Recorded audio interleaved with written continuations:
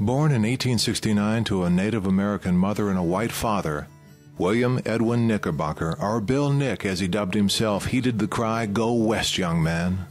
He traded his native Pennsylvania for the promised land of California, and there he climbed a mile high mountain to find his home. Bill Knick mined for gold, logged, worked as Big Bear's first dam keeper, married Rose Pollard, claimed a prime piece of property, and built his budding family a three story log cabin out of giant trees felled by his own hand. The exterior walls of the Big Bear Lake Mansion are giant trees halved and installed vertically, up and down, instead of the more traditional style of stacked logs. Stanley Miller, who with partner Thomas Buchanan run the manor as a bed and breakfast, said, It's the largest vertical log house in the United States. The two welcome guests alongside Bijou and Faux Pas, chocolate standard poodles, and a small but attentive staff. Miller said the cabin measures 4,500 square feet, and he makes claim the mansion is now four stories because there is a basement level renovated as office space. Miller's other job has been as Neil Diamond's concert tour sound engineer for more than four decades. Chef Thomas, German born and raised, honed his skills for nine years at Patina Restaurant in Los Angeles. When the partners first visited the mansion, it peered out at them from beneath a fresh mantle of fluffy February snow.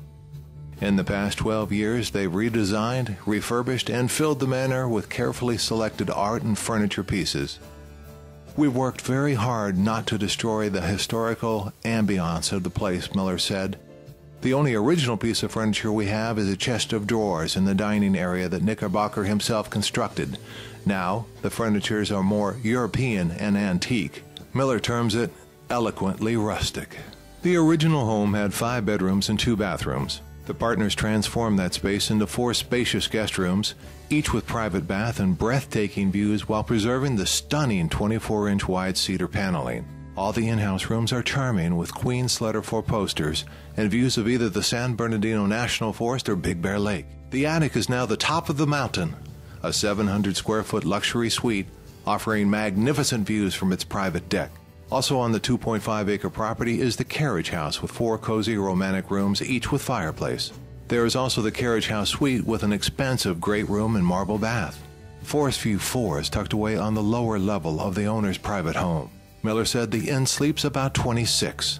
Guests enter the main lodge to a living area with original rock fireplace, a stairway constructed of split logs, and a dining area. Breakfast is included, and Bistro at the Mansion, the in house restaurant led by Chef Thomas, is open Friday and Saturday evenings.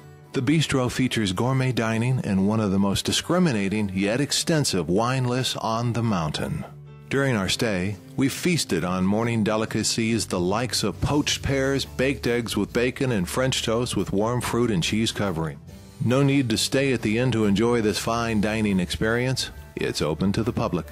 To make the inn more practical for groups and conferences, the partners added a multimedia conference center that seats 50. Miller said the space lets people look out the windows and enjoy the fact they're in Big Bear. Service in the dining room was excellent and the food also excellent. Our stay was very pleasant and relaxing. The partners are excellent hosts. The mansion is only a minute drive or three block jaunt from the colorful Big Bear Village, which features shops, restaurants, and theaters. As Big Bear is Southern California's only true four season resort, it's only a few blocks farther to boat rentals and ski resorts. Hikers can enter the National Forest right from the property. Enjoy a stay in Big Bear.